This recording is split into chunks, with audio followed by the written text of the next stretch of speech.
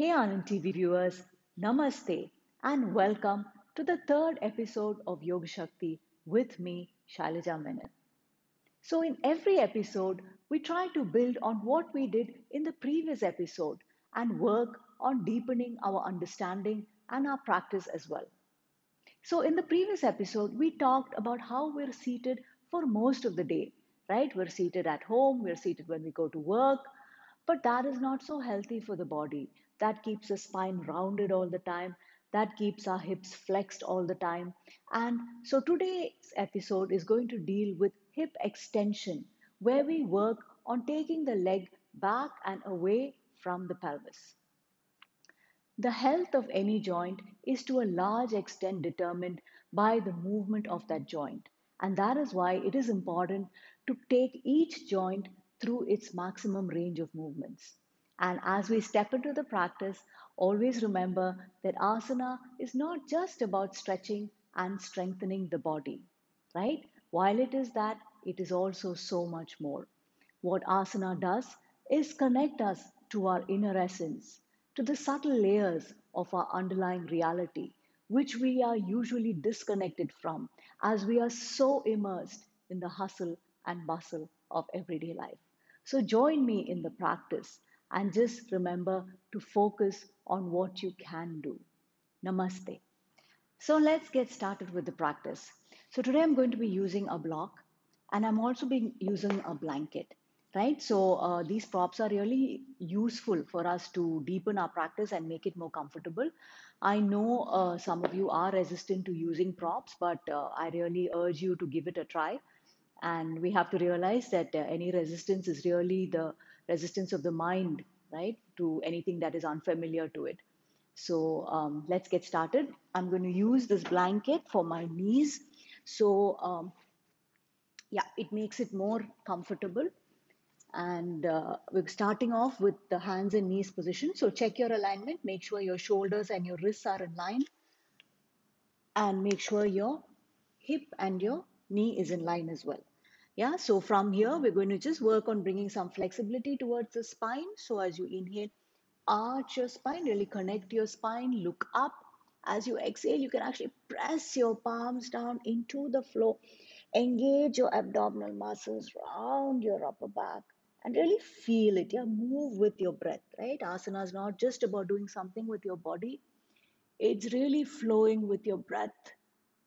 It's deepening your awareness of your mind and ultimately your own self.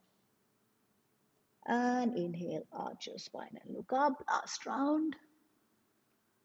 As you exhale, pressing down through the palms, really enjoy feeling the body open and bring your spine back to a neutral position.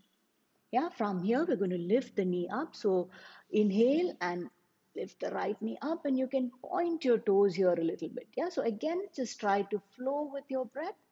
Exhale, bring the knee down. Inhale, lift the knee up, look up. Exhale, bring the knee down. Inhale, lift the knee up, look up. And if you're feeling uh, slightly more adventurous and you want to work on a little bit more of hip extension, see whether you can shift your balance, right? A little bit to your left side. See if you can hold your ankle here and lift.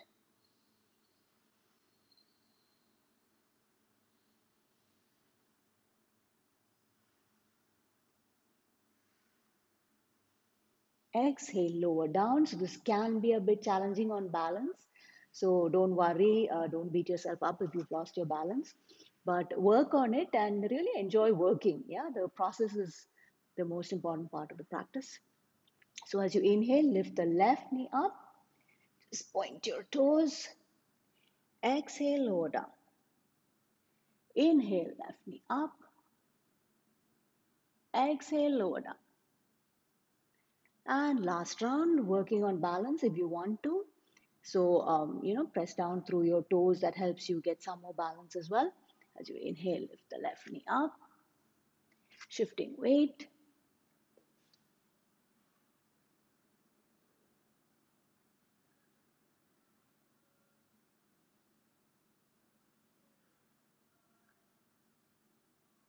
Exhale, lower down and release. Right? So from here, we're going to work a little bit more with the block. So I'm going to put my blanket aside, lie on my back. So I'm just going to give my hips a little bit of a lift using the block. Yeah, so I'm just going to lift my hip, place my block here. So that helps to give a little bit more of extension to the hip, right? So I'm just going to extend my leg forward and really feel that stretch along the front of my hip, the front of my thigh.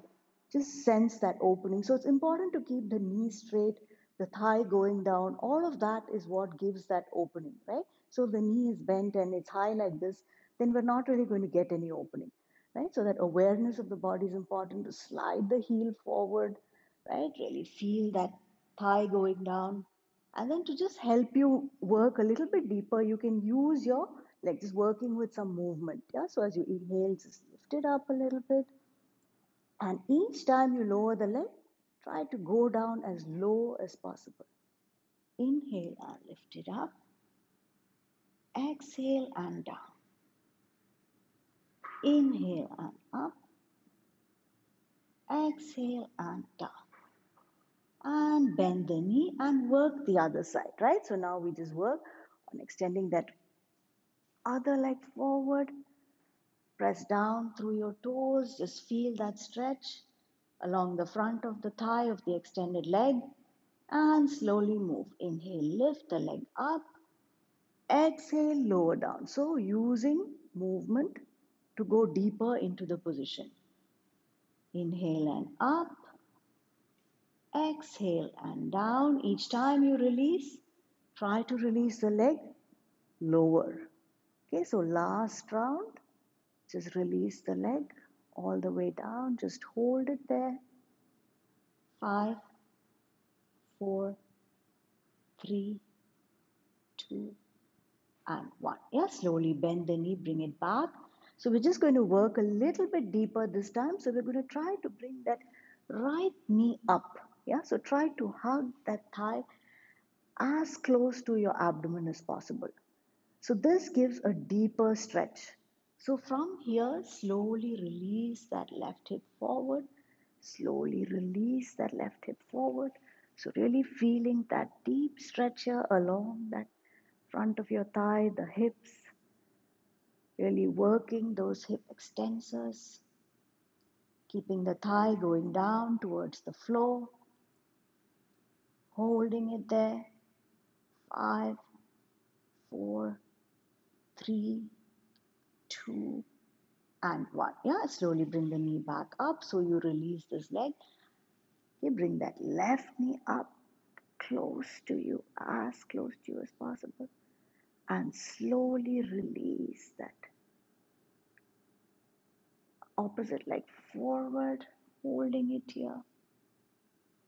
Five, four, three, two, and one. And finally, just release both the legs down.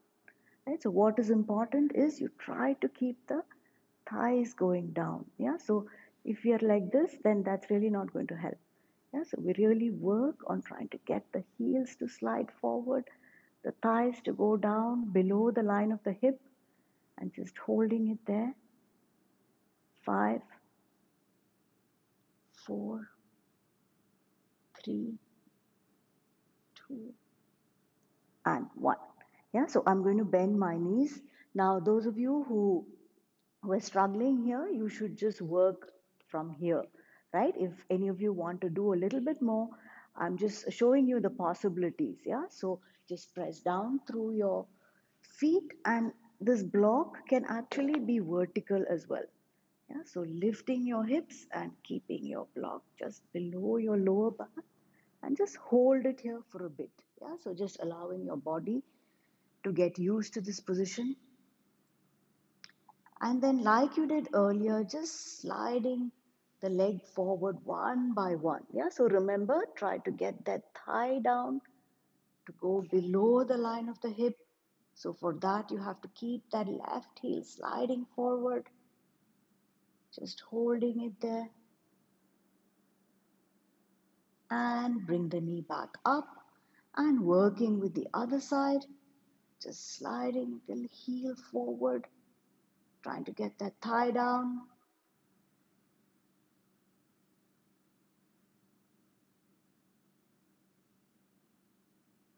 And finally, working with both the legs, so sliding both your legs forward, working into that beautiful hip extension. Thighs going down, knees engaged, trying to ground your shoulders as much as you can, just holding it here, trying to keep the soles of your feet going towards the floor. Your thighs rotating inward, knees rotating inward, calves rotating inward as you keep pressing down through the thighs. And slowly bend the knees and bring the feet back up. Yeah, and then this is the last variation. Again, only if you want to try something different, this also gives you a very deep hip extension.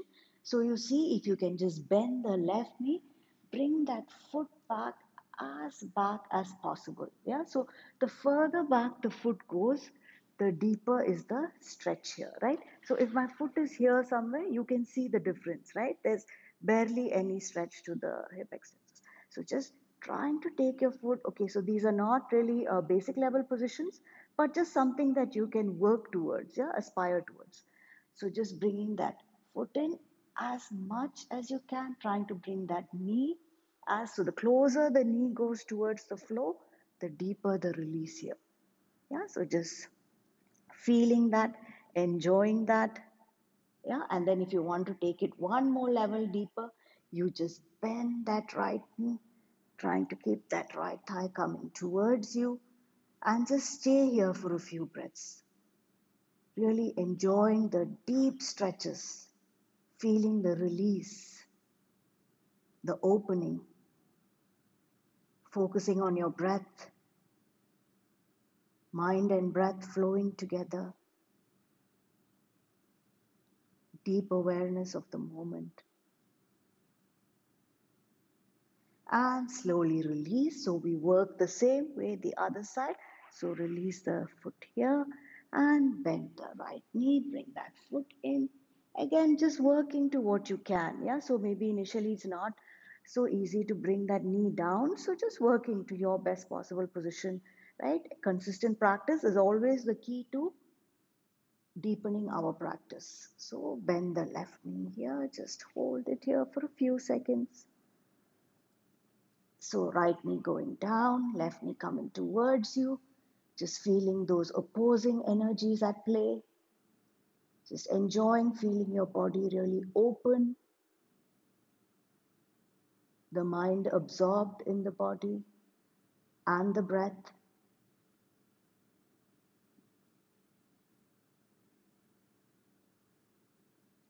And slowly release the leg and release the other leg. Right? So, to help you come out, you have to really press down on your feet and lift the hips up off the block Take your block off and release the hips down. Yeah, release your spine and just hug the knees towards your chest. That helps you to release any unease in your lower back. So gently move from side to side and relax your spine.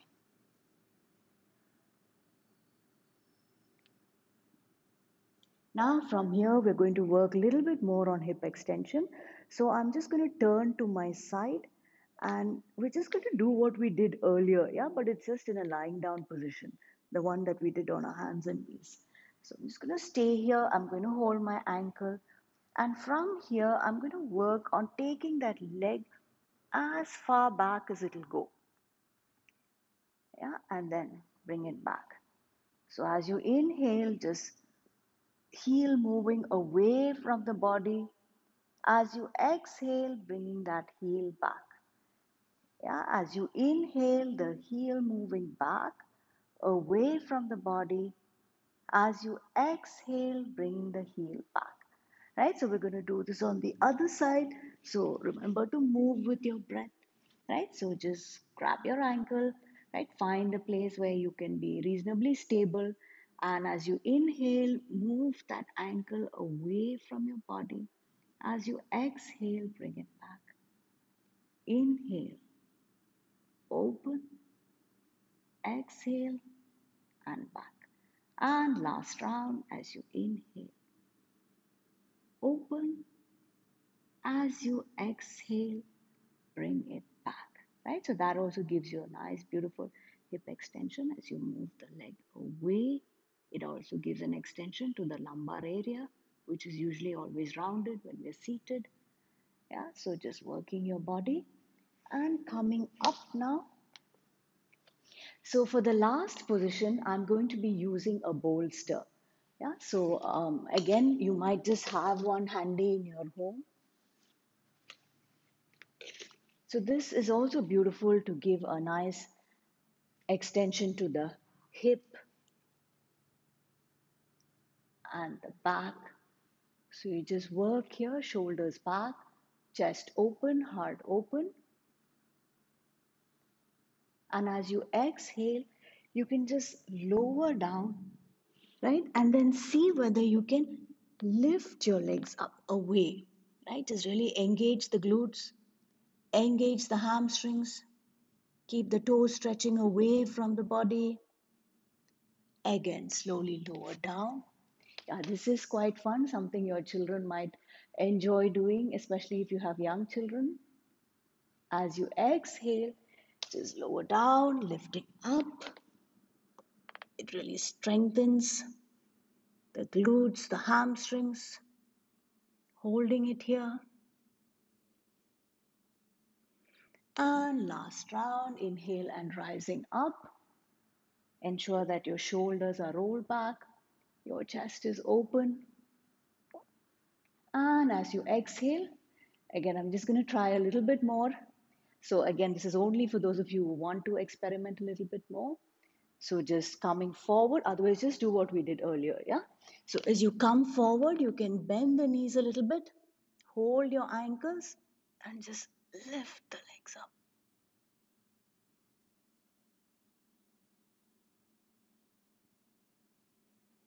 And slowly lower down. Inhale and rising up. And as you exhale, just moving into child's pose.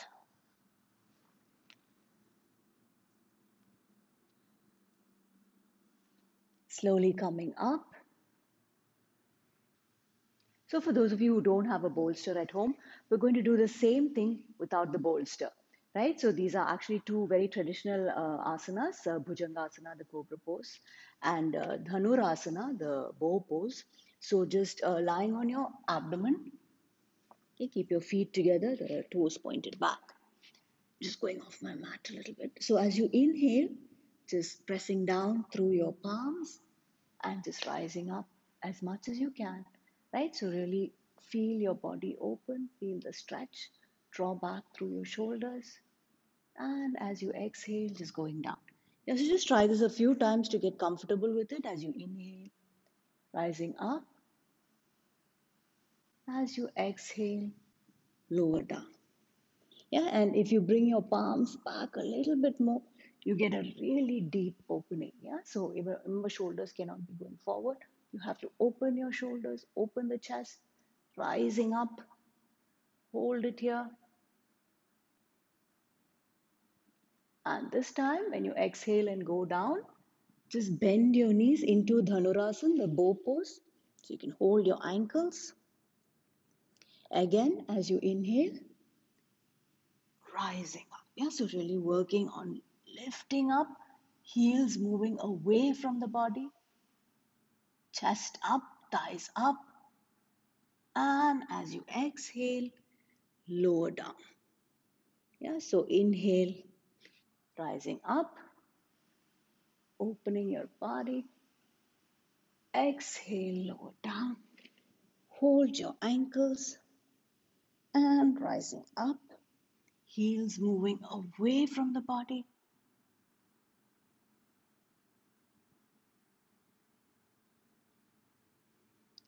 slowly lower down. Inhale and rising up.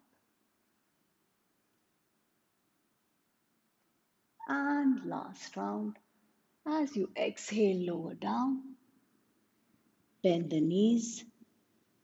Hold your ankles and heels strongly moving away from the body.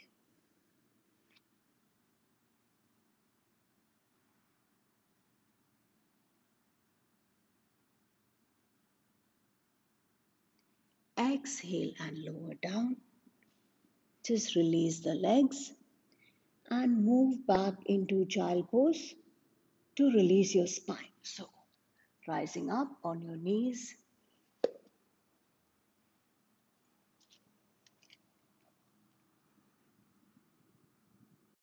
Okay, slowly rising up. Okay, and then uh, working again on uh, deep hip extension as well as uh, lumbar. So keeping your hands on your ankles, right? So there are many ways you can keep your foot. You can even keep your foot back, but uh, this is slightly deeper. So if you're starting off, it's easier if you you know get some help here. So again, a block comes in handy. So even if uh, you can't uh, hold your ankles, if you have a block, you can just keep your hand on the block. Yeah. So uh, whatever works for you. So I'm just going to keep my toes back because that's what I'm used to. So uh, even as you, so you may have to go back a little bit to hold your ankle, right? But once you do that, the whole uh, practice is to move the pelvis forward. Yeah, so because if you're going back, there's really no work, right? There's no extension that happens here. So you have to consciously, once you go back, move the pelvis forward, lift the chest up, and then you can take your arm back and stay.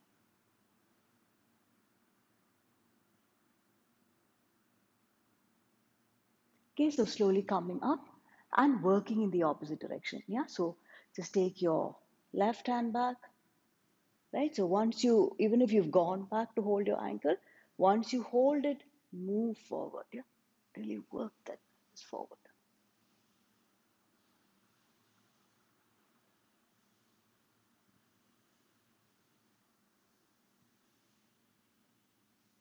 Slowly rising up and then if you're comfortable here, you can just take both your hands back.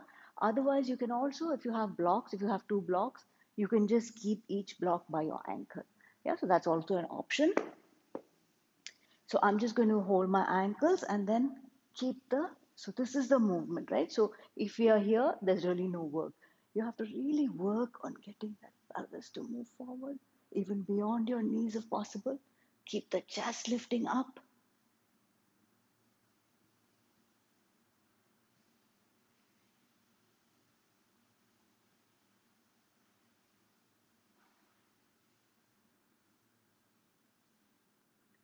So this is one of my favorite positions, Ustrasana, the camel pose. And it really gives such a beautiful stretch to the entire front of your body, your hips, your thighs, all of that. Yeah. So uh, from here, we're moving into the last position, which is Natarajasana, the dancer's pose. So in case you're wondering what all of these ropes are, this is actually uh, my yoga studio and uh, maybe in some future episode, we can go over why we use these ropes. But uh, for today, I'm not going to use them. So we're going into Natarajasana, the dancer's pose, uh, which uh, most of you, if you've done some form of yoga, will be quite familiar with. So this is also a great uh, hip extension, and it also brings about that uh, lumbar extension. So just for balance, you can just uh, place your hand on the wall, and then initially just uh, bend that right knee, yeah, the heel towards you, and then just hold that ankle and then if you feel comfortable, just really working that heel away. Yeah. So if you notice the whole of this episode, in all the many poses that we did, we've been working the heel away from the body. Yeah, we did it in that uh, first position with the hands on the knees, and then we did it lying down, right? And then we t- we're doing it now standing up. So just to get the connect, yeah, that is the same action. So finally, just lift it up when you feel like you've gotten your best position. Just lift it up, looking forward. Just hold it here.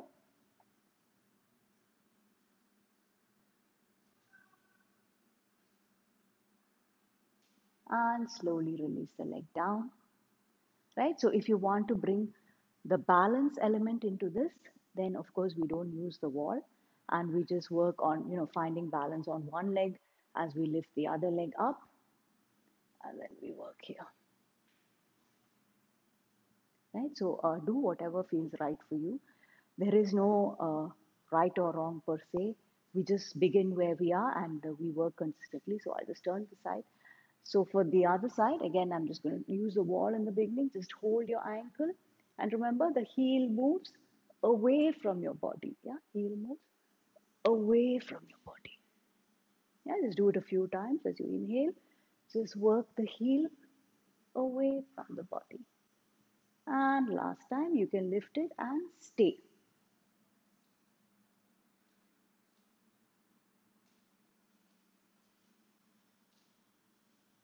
Slowly lower down. So again, if you want the balance element in it, you can always work shifting your weight to the right side and then slowly picking that left leg up, working on balance.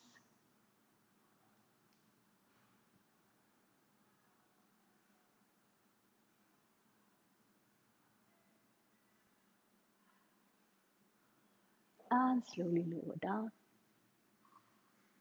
So we've come to the end of this episode. I really hope you have enjoyed the practice. I'm sure uh, most of you will be able to try at least some of the positions that we did. And the harder positions are really for you to be inspired to practice consistently. Yeah, the body is a beautiful responding body.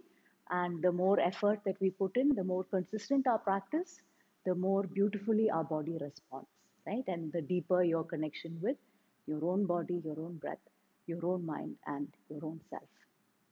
Namaste and see you next episode.